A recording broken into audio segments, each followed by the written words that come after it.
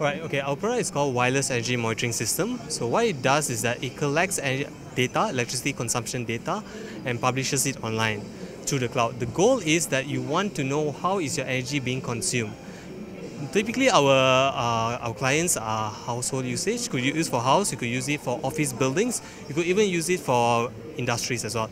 It's various uh, we are across various markets. The goal is that at the end of the day you want to know how is it that you're using electricity and how is it that you can save electricity.